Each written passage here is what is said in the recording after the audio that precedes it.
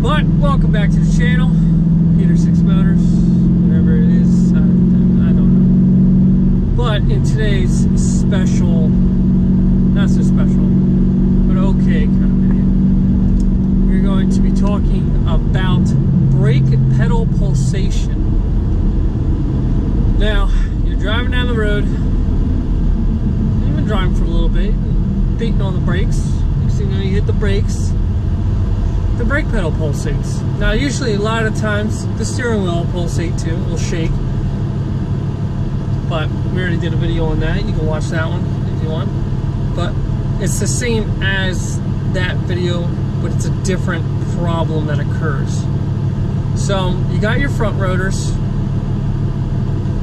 When they start to warp and break down, they'll start to vibrate the steering wheel. That is the pole. That is the shaking of the steering wheel in the front when you hit the brake. You have warped rotors. It's literally the same concept but this time you got it in the rear.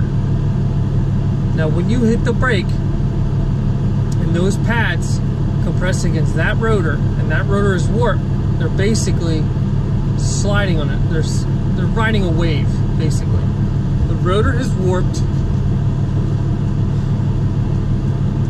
and the pads aren't aren't actually seating properly on the rotor to create the good amount of friction to slow your car down. Literally, that is the whole gist of it all.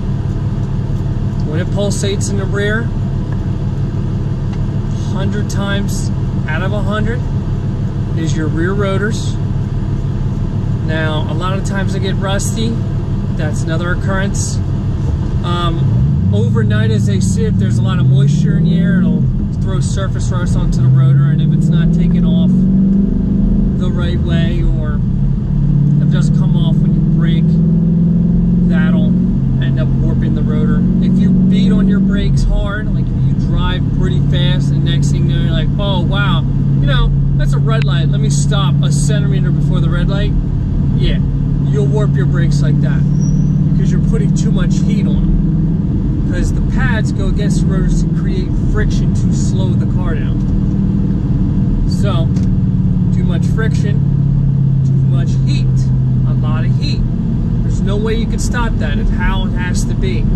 A lot of the times, the caliper can lock up, create too much friction, then warp the rotor. But if you beat on it, or you get it's they're nice and hot, but then water hits them and cools them down too fast, it'll warp metal as well. Or if you're putting the wheel on, now a lot of times they have to be star pattern or a pattern designated for how many lug nuts you have. So if it's five, it's a star pattern. Bottom, top, bottom, side, side. That's the star pattern that you have to use for a five lug. Six, star, but do it every other one. Crisscross. But if you put them on improperly, let's say you go around the world. That's improper torquing procedure for the wheel. A lot of times, you do it like that, it'll end up fracturing the rotor or warping the head of it really like never happens, but it does sometimes. But most of the time it's people braking too hard, water hitting the rotor when it's hot.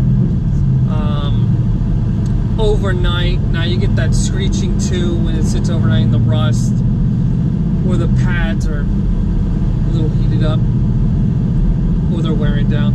But that's literally the whole video. It's a nice quick video. If you got the problem, pulsating in the pedal, replace the rear rotors and brakes. Always replace the brakes, don't just replace the rotors. It's kind of, you're defeating the purpose.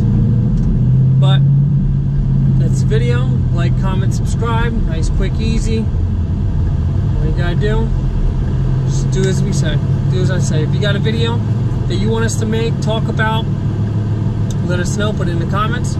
Other than that, have a good one.